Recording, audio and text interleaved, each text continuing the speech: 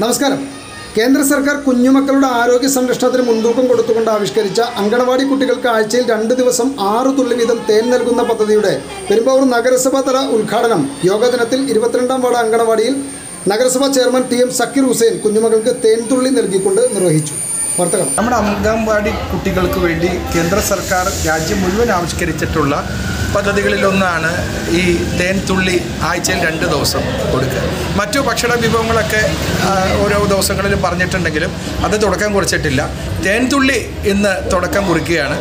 ഈ ഇരുപത്തിരണ്ടാം വാർഡിന്റെ ഈ അംഗൻവാടിയിൽ നിന്ന് തന്നെ ഇപ്പോൾ നഗരസഭയുടെ എല്ലാ ഭാഗത്തും എല്ലാ വാർഡിലും ഇന്ന് അംഗൻവാടികളിൽ ഇന്ന് ഈ തേൻതുള്ളി വിതരണം നടത്തും.